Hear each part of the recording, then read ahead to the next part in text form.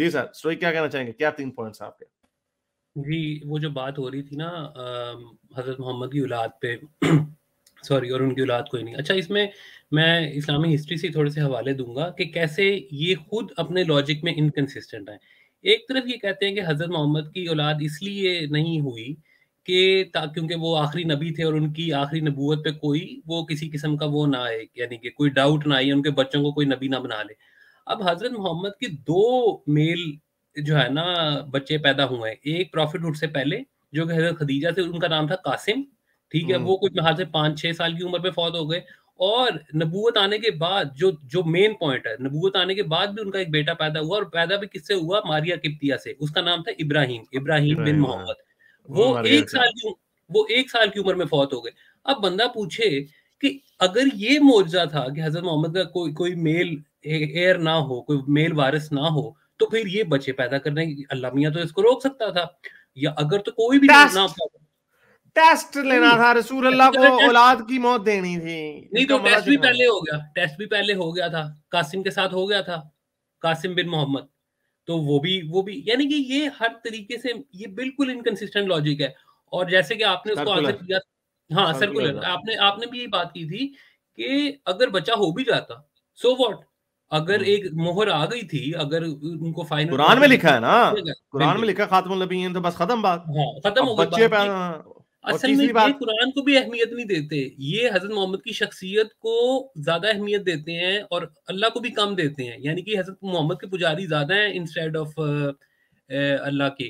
अच्छा और दूसरी बात एक और अभी वो कहते हैं ना वो इंजीनियर ने आजकल बड़ा उठाया हुआ ये मसला कि पता नहीं कौन से बुज़ुर्ग ये बरेलवी हैं कि देवबंदी वो कहते हैं कि रसूल अल्लाह की जो कबर है वो अल्लाह के अर्श से भी ज़्यादा वो है बेहतर है अब दर्जे में आगे है। हाँ, अल्लाह के हज से भी ऊपर अफजल अफजल हाँ कहता है वो कहता है साबियों के पास रसूल अल्लाह के बाल थे तो उन्होंने तो नहीं कहा कि रसूल अल्लाह का जो बाल है वो logically he is consistent in that part alone वो बात है वो आगे फिसल हाँ। जाते हैं उसमें भी बड़े बड़े बड़े मसले हैं। वो वो कहते हैं कि जी वो बॉडी जिस ज़मीन पे लगी है वो ज़मीन भी ज़्यादा अर्श है। तो फिर अल्लाह अर्श पे नहीं बैठा अल्लाह की बॉडी नहीं लगी हुई अर्श नहीं और नहीं वो कहते हैं नहीं उसी में काउंटर फकी इंजीनियर की फकी है कि रसूल अल्लाह की तो बॉडी उसमें है। लपेटी हाँ, भी है। बिल्कुल कप, वो कपड़े उसमें हाँ, हाँ कफन में चलो चलो का तो वो तो फिर कफन ज़्यादा अफजल हुआ फिर। कितने रोकोगे गाल जाके फिर?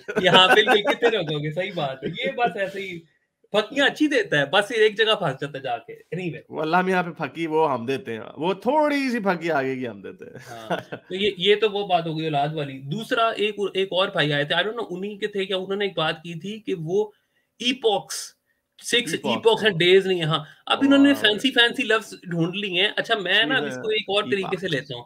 देखें अल्लाह मियाँ ने वर्ड यूज़ किया है अयाम ठीक है? और हाँ। कुरान के अंदर ही अभी आप अगर आपने खोलनी है तो खोल लें। ये सूरह असर है छोटी सी सूरत है वाल असर इंसान लफीकुस।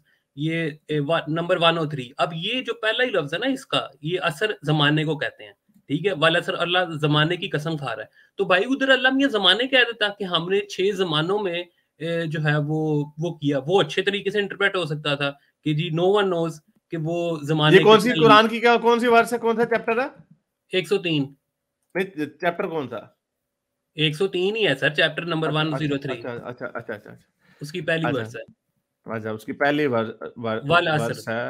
अच्छा वो कह रहे बाय द पासिज वल असर ये बाय द टाइम अच्छा ये है हाँ। तो इसकी ट्रांसलेशन निकालते हैं यार एक तो ये मैं इनको ना मदूदी मदूदी की खोल ले उसमें क्लियर लिखा हुआ मदूदी पटोडी। अच्छा जी। जमाने की कसम वाल असर यानी आप ये कह रहे हैं कि यहाँ पे जमाना असर बोल देते अल्लाह हाँ। जब छह जमानों की बात हो रही है बिल्कुल मैं ये कह रहा हूँ ना कि इतने सारे और वर्ड से और भी होंगे हो सकता है और भी हो जिनका मुझे अभी नहीं पता हो। मेरा कहने का मकसद ये कुरान के अंदर ही ऐसे लफ्ज यूज़ हुए हुए हैं which could have been better to explain कि अगर अगर जमानों की बात होती है अगर, हाँ, दर्जों की बात होती है। बिल्कुल तो ये अयाम का अयाम का लफ्ज जो है वो यूज़ करना ये मैं मान सकता हूँ कि अल्लाह का एक दिन जो है वो लंबा है लेकिन वो भी जब हम कैलकुलेट करते हैं अल्लाह की कैलकुलेशन के हिसाब से ही तो वो भी फारग हो जाता है। इसलिए ये हाँ। छलांगे जितनी मर्ज़ी मार लें। उसका कुछ नहीं। मेरे इस नेक काम को जारी रखने के लिए मुझे पेपैल या पेट्रियन पे ज़रूर सपोर्ट कीजिए, ताकि मैं अपना पैगाम ज़्यादा से ज़्यादा लोगों तक पहुँचा सकूँ।